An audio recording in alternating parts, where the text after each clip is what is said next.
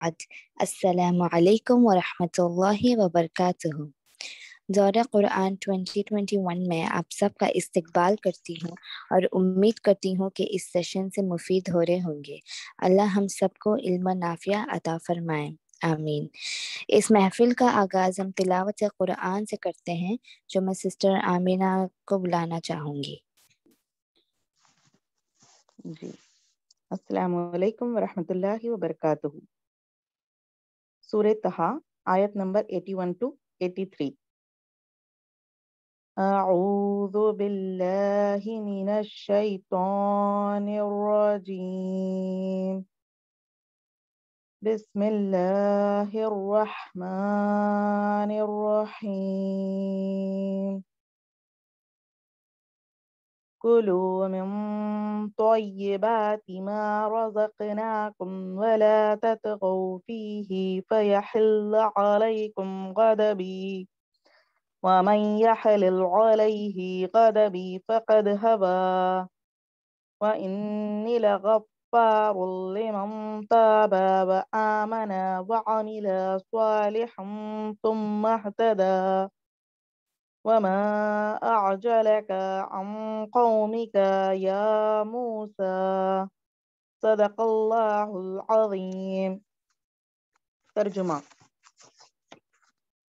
खाओ हमारा दिया हुआ पाक रिस्क और इसे खाकर सरकशी ना करो, वरना तुम पर मेरा गजब टूट पड़ेगा।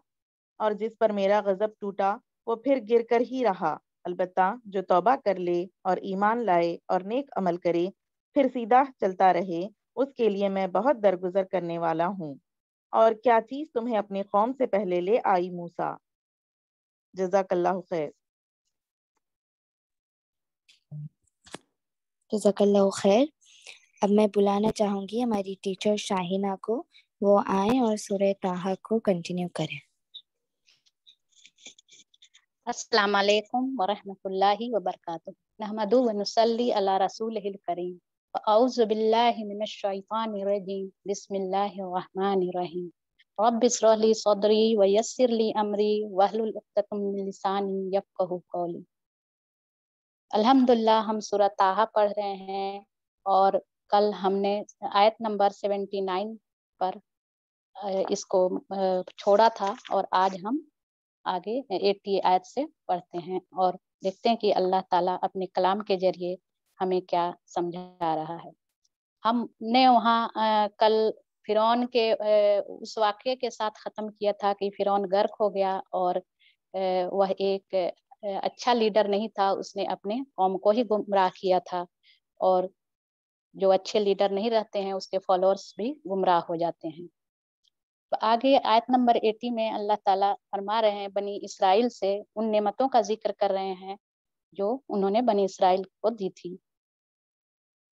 बिस्मिल्लाहिर्रहमानिर्रहीम। ऐ बनी इसराइल, हमने तुमको तुम्हारे दुश्मन से निजात दी और तूर के दाएँ जाने तुम्हारे हाजिरी के लिए वक्त मुकर्र किया और तुम पर मन व सलवा उतारा, खाओ हमारा दिया हुआ पाक रिज और इसे खाकर शरकशी न करो।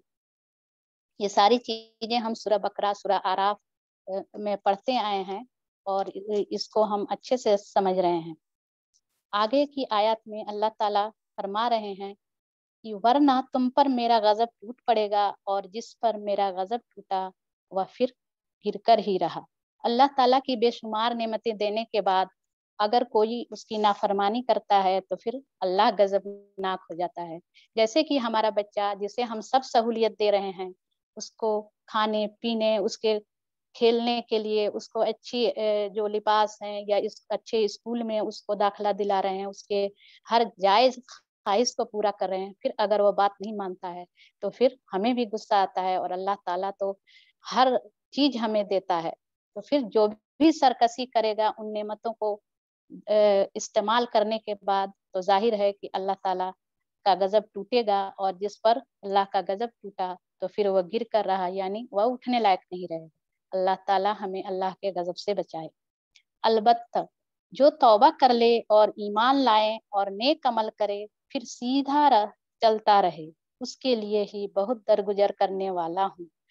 यह उन लोगों को अल्लाह ताला पर उन लोगों का गजब ना होगा जो तौबा कर लेंगे। यहाँ तौबा की शर्त बताई जा रही है कि जो तौबा कर ले, यानी पलट आए अल्लाह की तरफ़। और जो ईमान लाए और जो नेक अमल करे, फिर सीधा रास्ता, यानी उस पर इस्तकामत के साथ चलता रहे। ये चार शरात हैं तौबा करने के लिए। उस पर फिर अल्लाह ताला उसको माफ़ कर देगा और अल्लाह ताला बेशक गफूर रहीम है। आगे फिर मूसा इस्लाम से अल्लाह ताला कलाम कर रहे हैं, और क्या चीज़ तुम्हें अपनी कौम से पहले ले आई मूसा? उसने अर्ज़ किया, वह बस मेरे पीछे आ आ ही रही है। मैं जल्दी करके तेरे हजूर आ गया हूँ। ऐ मेरे रब, ताकि तुम मुझसे खुश हो जाए। मूसा इस्लाम को अल्लाह ताला से मिलने का इतना शौक था कि वह जो मुकर्र वक्त था उसके उससे पहले ही वह तूर पर हाजिर हो गए। फिर उनसे जवाब पुरस हो रही है, अगर कोई टाइम लिमिट होती है किसी काम को करने का तो दुनिया में भी हम उस टाइम लिमिट से पहले नहीं जा सकते। ऑफ़िस खुलने का वक्त एक मुकर्र होता है एग्ज़ाम हॉल में एग्ज़ाम में जाने का वक्त मुकर्र होता है तो उससे पहले हम नहीं जा सकते। इस तरह से हज़रत मूसा के आने पर अल्लाह ताला कलाम कर रहे हैं। लेकिन उनके अंदर क्या था? अल्लाह से मुखातिब होने का शौक जो कि उन्होंने जल्दबाजी में किया और अल्लाह ताला ने इंसान के अंदर जल्दबाजी का मादा रखा है उजलत का मादा रखा है और इस, इस उजलत में कभी कभी इंसानों से गलती हो जाती है खता हो जाती है। लेकिन नेक, नेकियों में जल्दीबाजी ज़रूर करना चाहिए ताकि वह वक्त हमसे छिन न जाए। फरमाया अच्छा तो सुनो हमने तुम्हारे पीछे तुम्हारी कौम को आजमाइश में डाल दिया है। और सामरी ने उन्हें गुमराह कर डाला। अल्लाह ताला ने उनकी इस जल्दबाजी के एवज में उनके कौम को आजमाइश में डाल दिया था और अक्सर ऐसा हुआ है कि नबियों से भी अगर कोई खता हुई है तो फिर उसका असर उनकी उम्मत पर पड़ता है। एक इसी तरह की हदीस भी है, हालाँकि हमारे नबी सल्लल्लाहु अलैहि वसल्लम के बारे में लेकिन उससे कोई खता नहीं की गई थी। एक वार्निंग है जो कि जब वो सबे मिराज के वाक्य में मिराज पे गए थे तो वहाँ पे उनके, उनको दूध और शहद और शराब का प्याला पेश किया गया। तो उन्होंने दूध को पसंद फरमाया। फिर जिब्राइल अमीन ने उन्हें बताया कि अगर आप शराब का प्याला ले लेते तो फिर आपकी उम्मत बर्बाद और हलाक हो जाती। यानी एक नबी के किसी ऐसे फैसले को करने से जो कि सही नहीं है तो उसकी उम्मत पर उसका असर होता है। और यहाँ पे अल्लाह ताला मूसा सलाम को ये बता रहे हैं। मूसा सख्त गुस्से और रंज की हालत में अपनी कौम की तरफ़ पलटा। जाकर उसने कहा, ऐ मेरी कौम के लोगों, क्या तुम्हारे रब ने तुमसे अच्छे वादे नहीं किए थे? क्या तुम्हें दिन लग गए थे? क्या तुम अपने रब का गजब ही अपने ऊपर लाना चाहते थे कि तुमने मुझसे वादा खिलाफी की? यानी जब उन्हें पता चला कि मेरी जो कौम है, वो फितने में पड़ गई है तो उन्होंने जाके उनकी खबर ली और आगे जो उनके भाई हैं उन, उनसे भी हम उनके बारे में भी पढ़ेंगे कि उनसे क्या बात उन्होंने की। उनकी कौम क्या जवाब दे रही है? उन्होंने जवाब दिया हमने आपसे वादा खिलाफी कुछ अपने इख्तियार से नहीं की। मामला यह हुआ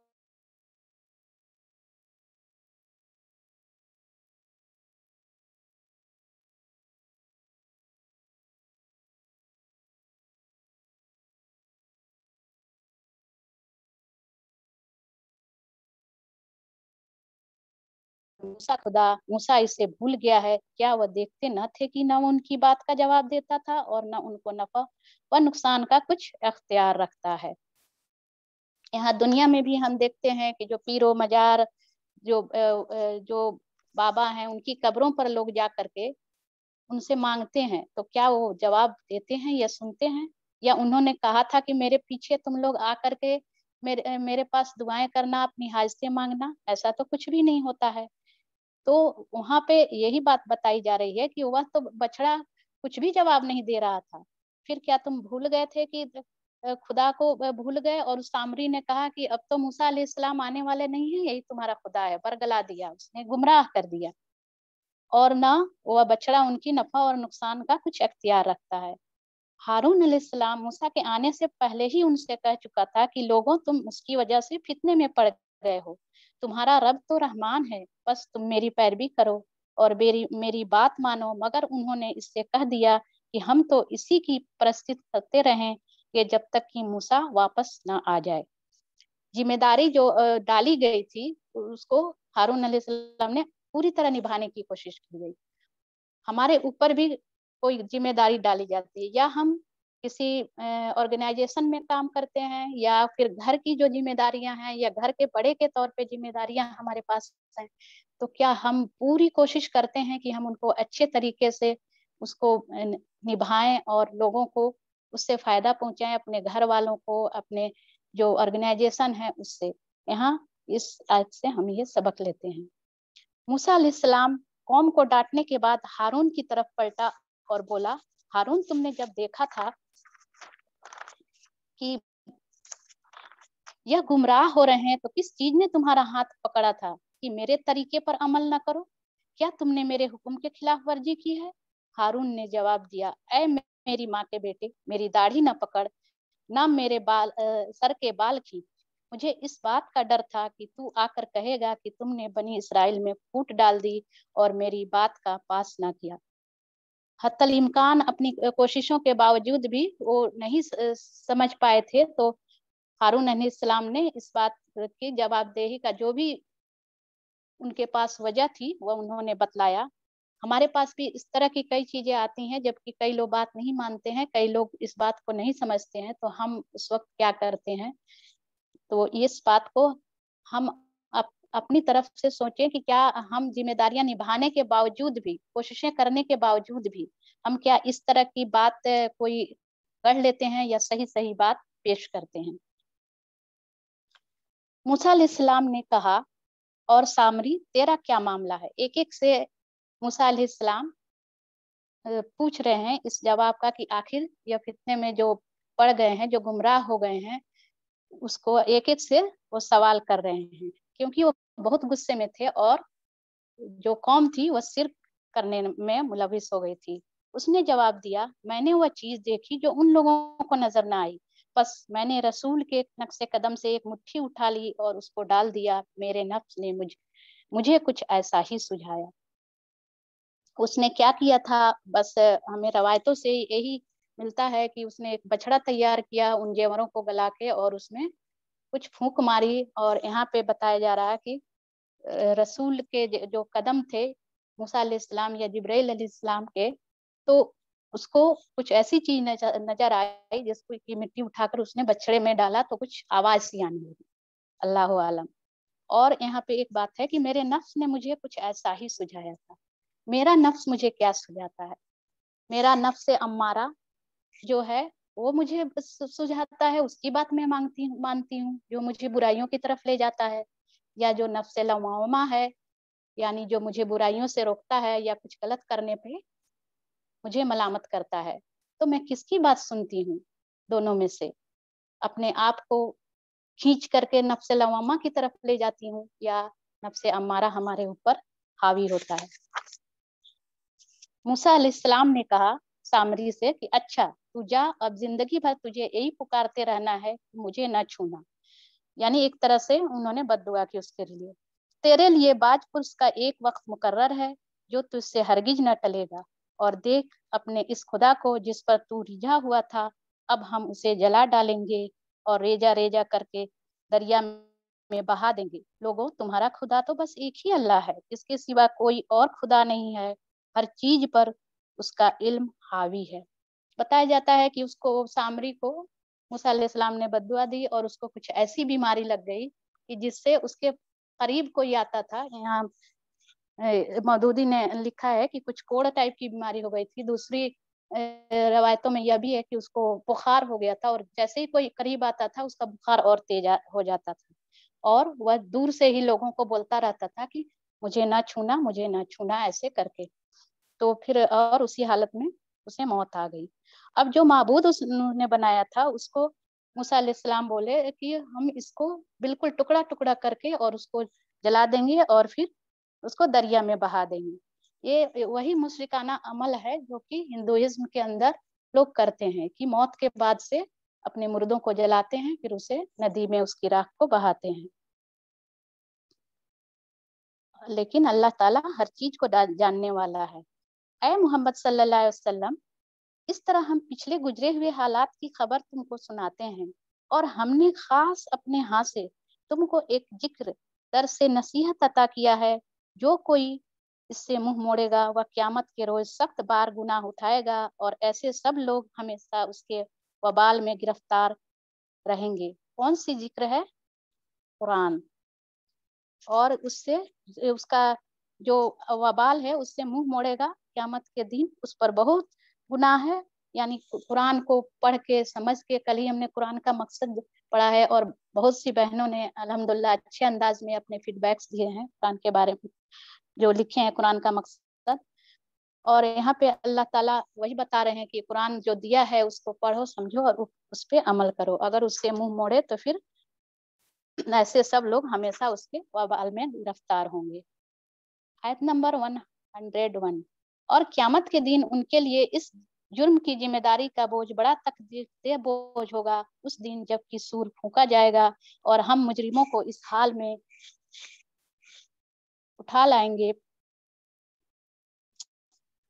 घेर लाएँगे कि उनकी आँखें दहशत के मारे पथराई हुई होंगी। आपस में चुपके चुपके कहेंगे कि दुनिया में मुश्किल ही से तुमने कोई दस दिन गुजारे होंगे। यह आखिरत का क्यामत के दिन का ज़िक्र कर रहे हैं अल्लाह ताला कि उस रोज जबकि सूर फूका जाएगा और सारे लोग इकट्ठे होंगे और वो, वो लोग बिल्कुल दहशत जदा होंगे। बिल्कुल चुपके चुपके आपस में घबराए हुए कि और कहेंगे कि हम तो दुनिया में बस थोड़े दिन होंगे। बताया गया कि क्यामत का एक दिन पचास हज़ार साल के पचास हज़ार दिन के बराबर यहाँ के एक दिन के बराबर होगा। अगर हम उसको कैलकुलेट करेंगे तो हमारी पचास साठ साल की ज़िंदगी में चौबीस घंटे का में तीन मिनट होगा वहाँ का एक दिन। तो वो आपस में बातें कर रहे होंगे, उसी में से जो सबसे ज़्यादा मोहतात होगा, वह कहेगा, हमें खूब मालूम है, अल्लाह ताला बता रहे हैं कि हमें खूब मालूम है कि वह क्या बातें कर रहे होंगे। हम यह भी जानते हैं कि उस वक्त इनमें से जो ज़्यादा से ज़्यादा मोहताद अंदाज लगाने वाला होगा, वह कहेगा कि नहीं, तुम्हारी दुनिया की ज़िंदगी बस एक दिन की ज़िंदगी थी।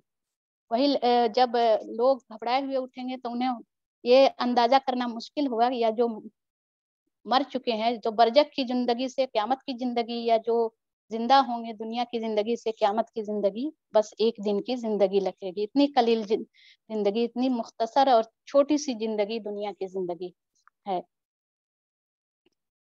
यह लोग तुमसे पूछते हैं कि आखिर उस दिन यह पहाड़ कहाँ चले जाएँगे? कहो कि मेरा रब उनको धूल बनाकर उड़ा देगा और ज़मीन को ऐसा हमवार चट्टियल मैदान बना देगा कि इसमें तुम कोई बल और सलवट ना देखोगे। क्योंकि हसर का यही ज़मीन पर ही कायम होगी, इसलिए अल्लाह ताला जब पूछ रहे हैं वो लोग की पहाड़ के बारे में तो हम दूसरे सूरतों में भी पढ़े हैं कि बिल्कुल पहाड़ धुनी हुई रुई के मानिंद हो जाएँगे और पूरी ज़मीन एक बिल्कुल साफ़ सुथरी चटखल मैदान की तरह हो जाएगी, जिसमें कोई सलवट, कोई भी सिकन नहीं होगा, जहाँ की लोग अच्छे से इकट्ठा हो सकेंगे। उस रोज सब लोग मुनादी की पुकार पर सीधे चले आएँगे। कोई जरा अकड़ न दिखा सकेगा और आवाज़ें रहमान के आगे दब जाएँगी। एक सरसराहट के सिवा तुम कुछ न सुनोगे। उस रोज सिफात कारगर ना होगी। इल्ला यह कि किसी को रहमान उसकी इजाज़त दे और उसकी बात सुनना पसंद करे।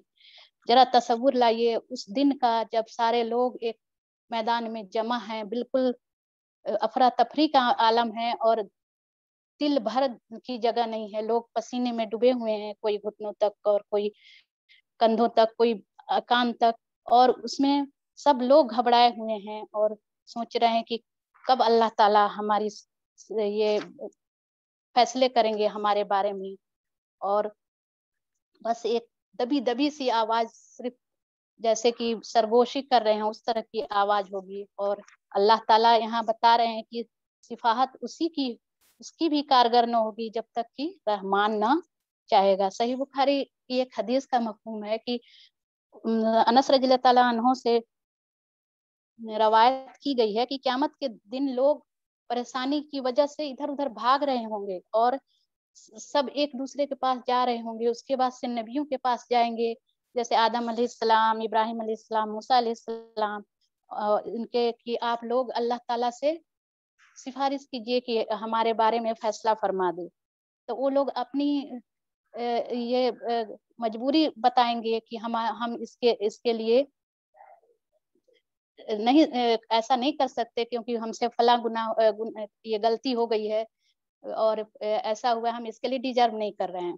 फिर वो आप सल्लल्लाहु अलैहि वसल्लम के पास जाएँगे तो आप सल्लल्लाहु अलैहि वसल्लम कहेंगे कि हाँ मुझे सिफारत का हक सिफा सिफात का हक हा, हासिल है। उसके बाद से वो अल्लाह ताला से दुआ करेंगे जो दुआ अल्लाह ताला उसी वक्त उनको सिखाएँगे और वो सजदे में गिर पड़ेंगे। फिर अल्लाह ताला फरमाएँगे कि उठिए और मांगिए, जो मांगेंगे वो कबूल होगा और ने और जो भी आप सिफारिश करेंगे जिसके बारे में तो मैं कबूल करूँगा। लेकिन यहाँ सोचने की बात यह है कि क्या सिर्फ़ हम उस दिन की सिफात के बदले में आज जो कुछ कर रहे हैं या नहीं सोचे बगैर बगैर समझे बगैर करते चले जाएँगे कि हाँ उस दिन तो मेरी सिफात हो जाएगी। सिफात के बारे में बहुत बड़े एक वसी ये मौजू है कि सफात किसकी कबूल होगी और कौन कौन से लोगों की कबूल होगी, किसके बारे में होगी। तो ऐसे इंसान की तो सिफारिश हम देखते हैं कि जैसे कोई किसी ऑफ़िस में काम कर रहा है, अगर उसके बॉस ने उसको निकाल दिया या सस्पेंड कर दिया गया, अगर कोई उस कंपनी के मालिक के पास जाता है सिफारिश करने उसका कोई रिश्तेदार है जिसको निकाला गया है और वो दोस्त है कंपनी का मालिक तो उसको कहता है कि नहीं रख लो, ये आदमी, ये मेरा दोस्त है। तो वो मालिक बोलता है कि आप नहीं जानते कि क्या करता है, या काम चोर है, या वक्त पे नहीं आता, या सही से काम नहीं करता। तो वह आदमी नहीं जानता है। वो तो समझता है कि मैं एक अच्छे आदमी की सिफारिश कर रहा हूँ। तो अल्लाह ताला के पास उन्हीं लोगों की सिफारिश होगी जो जायज़ सिफारिश होगी। और जिसके लिए अल्लाह ताला इजाज़त देंगे। क्योंकि आगे की जो आयत है कि उसमें बता रहे हैं कि वह लोगों का अगला पिछला सब हाल जानता है और दूसरों को इसका पूरा इल्म नहीं है। लोगों के सर उस हयू और कयूम के आगे झुक जाएँगे। नामुराद होगा जो उस वक्त किसी जुल्म का बारे गुनाह उठाए हुए, किसी जुल्म या हक तलफी का खतरा ना होगा। उस शख्स को जो नेक अमल करे और उसके साथ वह मोमिन हो। कौन लोग बिल्कुल अमन, अमान, बिल्कुल सुकून से होंगे, वो बताया जा रहा है कि एक मोमिन शख्स जो कि मोमिन होने के साथ नेक अमल यानी अमल सालेहा भी करे। आगे की आयत, और ए मोहम्मद सल्लल्लाहु अलैहि वसल्लम, इस तरह हमने इसे कुरान अरबी बनाकर नाजिल किया गया है और इसमें तरह तरह से तंबियात की है। शायद कि ये लोग कजरवी से बचे या इनमें कुछ होश के आसार इसकी बदौलत पैदा हों। बस, बाला व बरतर है अल्लाह पातशाह हकीकी। और देखो, कुरान पढ़ने में जल्दी ना किया करो, जब तक कि तुम्हारी तरफ़ उसकी वही तकबील को न पहुँच जाए। और दुआ करो कि ए परवरदिगार, मुझे मजीद इल्म अता कर। सारी बातें बताने के बाद से अल्लाह ताला की तरफ़ से फरिश्ता जो भी हैं, उनको आप सल्लम की ये आयत भी आती है कि आप सल्लल्लाहु अलैहि जब वही आती थी शुरू शुरू में तो वो उसको याद करने की कोशिश करते थे। और जो वही आती थी तो उसमें कुछ ये होने लगती थी दिक्कत। तो आप सल्लल्लाहु अलैहि वसल्लम को कहा जा रहा है कि आप सल्लल्लाहु अलैहि वसल्लम पढ़ने में जल्दी ना किया करें कि जब तक तुम्हारी तरफ़ उस वही की तकमील नहीं हो जाए, यानी पूरी वही नहीं आ जा रही है। और आप सल्लल्लाहु अलैहि वसल्लम को यह बताया गया कि आप सल्लल्लाहु अलैहि वसल्लम को अल्लाह ताला आपको याद करा देंगे कुरान। और उन्होंने उनको एक दुआ भी सिखाई, जो कि आयत नंबर 114 में है। वकुर रब्बी जिदनी इल्मा। ये दुआ है जो कि इल्म को बढ़ाने के लिए बताया गया है, और हम भी मांगते हैं अलहमदुल्ला लेकिन इस दुआ को मांगने के साथ साथ इल्म के लिए कोशिश करनी है, क्योंकि सुरह अनकबूत में बताया गया है कि जो भी हमारे रास्ते के लिए कोशिश करता है, उसके रास्ते को हम आसान बना देते हैं। और हदीसों में यह बताया गया है कि इल्म जो है जन्नत का रास्ता है। जो भी इल्म हासिल करने के लिए जाएगा जहाँ तक तो वहाँ से उसके घर से निकलने तक और वहाँ तक पहुँचने तक फरिश्ते और चूटियाँ और जो समुन्दर के जो जो भी जा, जानदार चीज़ें हैं वो दुआ मगफरत करती हैं। और इल्म को हासिल करने के लिए हम दुनियावी इल्म को हासिल करते हैं। और जो दीन का इल्म है उस उसके थोड़ा सा हम उसके ऊपर हम तवज्जो नहीं देते। एक कारी है, एक मौलाना है, उनके ऊपर हम खर्च करना आर समझते हैं, जबकि हज़ारों रुपए की फ़ीस हम देते हैं स्कूलों में डिग्रियों को पढ़ के डिग्रियाँ हासिल करने में और एक या फिर दीन की किताब खरीदने पे हम खर्च नहीं करते। तो इल्म जो है दीन का इल्म दुनियावी इल्म भी सीखना दीन का, का इल्म भी सीखना है उस पर खर्च करना है उसके लिए कोशिश करनी है। इंशाल्लाह अल्लाह ताला हमें भी रब्बी जिदनी इल्मा का हकदार बना दे। हमने इससे पहले आदम को एक हुक्म दिया था मगर वह भूल गया। हमने उसमें अज़्म न पाया। याद करो वह वक्त जबकि हमने फरिश्तों से कहा था कि आदम को सिजदा करो वह सब तो सिजदा कर गए, मगर एक इबलीस था कि इनकार कर बैठा। उस पर हमने आदम से कहा, देखो, यह तुम्हारा और तुम्हारी बीवी का दुश्मन है। यह आदम अलैहिस्सलाम का किस्सा यहाँ सातवीं मरतबा फिर से बयान हो रहा है दूसरे अंदाज में। ऐसा ना हो कि तुम्हें जन्नत से निकलवा दे और तुम मुसीबत में पड़ जाओ। यहाँ तो तुम्हें यह आशा ऐसे हासिल है कि ना भूखे नंगे रहते हो, न प्यास और धूप तुम्हें सताती है। यानी ये जन्नत की सारी जो उसमें खूबियाँ हैं वह बता रहे हैं अल्लाह ताला कि ना यहाँ भूख लगती है, ना प्यास लगती है, ना धूप लगती है, ना गर्मी है। लेकिन शैतान ने उसको फुसला दिया। कौन सी बात वो भूल गए थे? और शैतान ने उन्हें बताया, आदम, बताओ तुम्हें वह दरख्त, बताऊँ तुम्हें वह दरख्त जिससे अब्दी ज़िंदगी और लाजवाब सल्तनत हासिल होती है। आखिरकार दोनों मियाँ बीवी उस दरख्त का फल खा गए। नतीजा यह हुआ कि फ़ौरन ही उनके सतर एक दूसरे के आगे खुल गए और लगे दोनों अपने आप को जन्नत के पत्तों से ढांकने। वह जो दरख्त था जो हुक्म था उस हुक्म के खिलाफ वर्जी की उन लोगों ने और उन लो, उनके सतर खुल गए जबकि वह पहले नहीं जानते थे सतर के बारे में। आदम इस्लाम ने अपने ना रब की नाफरमानी की और राह रास्त से भटक गया हम कौन कौन सी नाफरमानियाँ अपने हुक्म अपने रब के हुक्म के खिलाफ करते हैं और राह रास्त से एक सीधे रास्ते की तरफ़ जाने के बजाय अलग रास्ते पे चले जा रहे हैं? अल्लाह ताला से हमें हमेशा सही रास्ते की रहनुमाई करें और शैतान मरदूज से बचाए। फिर उसने उसके रब ने उसे बरगुजिदा किया और उसकी तौबा कबूल कर ली और उसे हिदायत बख्शी और फरमाया, तुम दोनों फरीक, यानी इंसान और शैतान, यहाँ से उतर जाओ, एक दूसरे के दुश्मन रहोगे। अब अगर मेरी तरफ़ से तुम्हें कोई हिदायत पहुँचे तो जो कोई मेरी उस हिदायत की पैरवी करेगा, वह ना भटकेगा, ना बदबख्ती में मुबतला होगा। और जो मेरे ज़िक्र दर से नसीहत से मुँह मोड़ेगा, उसके लिए दुनिया में तंग ज़िंदगी होगी और क्यामत के रोज हम उसे अंधा उठाएँगे। कितनी साफ़ साफ़ आयते हैं हमारे रब की कि पहले दिन ही से उन्होंने कह दिया कि जब जब मेरे पास से हिदायत पहुंचेगी, यानी जब भी हमारी तरफ़ से पैगंबर, नबी, किताबें भेजी जाएँगी तो उसकी पैरवी करना है। पहले दिन से आदम सलाम से ही बताया गया और वह चीज़ उनकी नस्लों में भी जारी रही। कि जब तक हम उनकी पैरवी करेंगे हमारे लिए कोई तंगी नहीं है इस दुनिया में। और फिर क्यामत के दिन अल्लाह ताला कह रहे हैं कि जो भी उससे मुँह मोड़ लेगा उस रोज हम उसे अंधा उठाएँगे। यानी कि दुनिया में तो हम उसकी तरफ़ तवज्जो नहीं दे रहे हैं। दुनिया में जो बातें अल्लाह के हुक्म की हैं बस मुझे सुनाई नहीं देती मुझे दिखाई नहीं देती। अपने मन की मर्ज़ी के ए, के मुताबिक हम किए जा रहे हैं। तो जो लोग भी इस तरह करेंगे अल्लाह ताला का अजाब है कि उस रोज अंधा उठाए जाएँगे। वह कहेगा, परवरदिगार, दुनिया में तो आँखों वाला था, यहाँ मुझे अंधा क्यों उठाया? अल्लाह ताला फरमाएँगे हाँ इसी तरह तो हमारी आयात को, जबकि वह तेरे पास आई थी, तूने मुझे भुला दिया था, उसी तरह आज तू तू भुलाया जा रहा यानी वही फज करूनी वस्कुरकुम वस्कुरुला तक करून वाली बात है कि अल्लाह ताला कहते हैं कि तुम मेरे, मुझे याद करो और मेरी नेमतों का शुक्र करो। यह नेमत जो आयतें मेरे पास आई है कुरान के शक्ल में अल्लाह ताला के कलाम के ज़रिए, अगर मैंने इसे भुला दिया तो अल्लाह भी हमें उस दिन उसी तरह से कहेगा जो इन आयतों में फरमाया जा रहा इस तरह हद से गुजरने वाले और अपने रब की आयत न मानने वाले को दुनिया में बदला देते हैं और आखिरत का अजाब ज़्यादा सख्त और ज़्यादा दर देर पा है।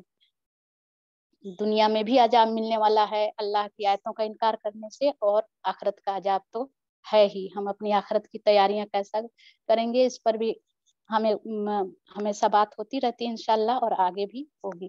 फिर क्या यह इन लोगों को तारीख के इस सबक से कोई हिदायत ना मिली कि इनसे पहले कितनी ही कौमों को हम हलाक कर चुके हैं, जिनकी बर्बाद शुदा बस्तियों में आज ये चलते फिरते हैं।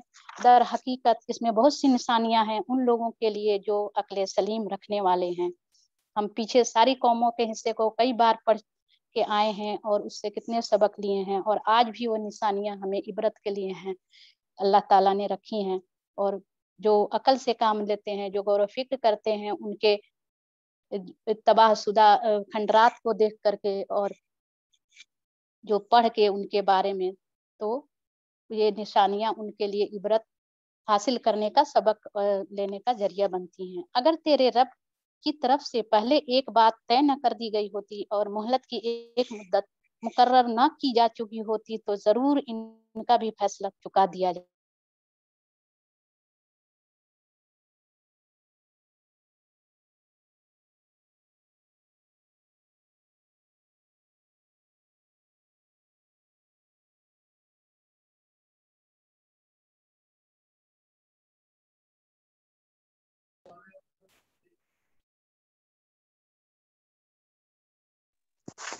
अस्सलाम वालेकुम रहमतुल्लाहि शहनाब जी आपका म्यूट हो गया क्या?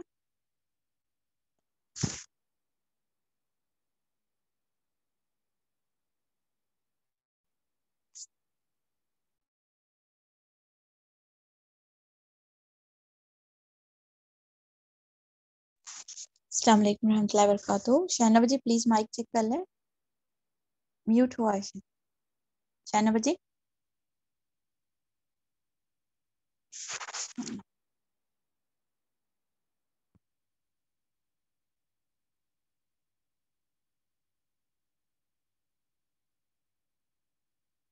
मीटिंग में है ना? क्या एग्जिट हो गए देखिए नेटवर्क की वजह से। एक सेकंड आई थिंक वो एग्जिट हो गए अल्लाह ताला रहम करे।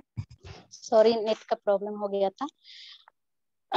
ए मोहम्मद सल्लल्लाहु अलैहि वसल्लम जो बातें ये लोग बनाते हैं, उन पर सब्र करो। ये एक दाई की क्वालिटीज बता बताई जा रही है। आप सल्लल्लाहु अलैहि वसल्लम को कहा जा रहा है कि सब्र करो।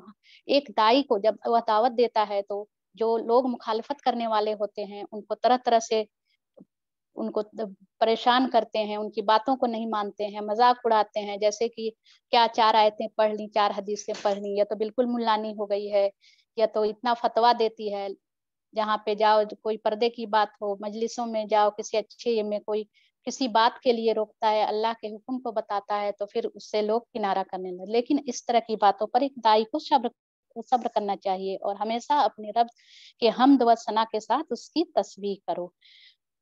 अपने रब की बड़ाई बयान करें और आगे नमाज़ के औकात बताए जा रहे हैं कि सूरज निकलने से पहले और गुरूब होने से पहले और रात सूरज निकलने से पहले फजर और गुरूब होने से पहले असर और रात के औकात में भी तस्बीह करो। यानी मगरिब और ईशा में और फिर तहजुद के बारे में भी बताया गया और दिन के किनारों पर भी, यानी जोहर और असर भी, शायद कि तुम राज़ी हो जाओ।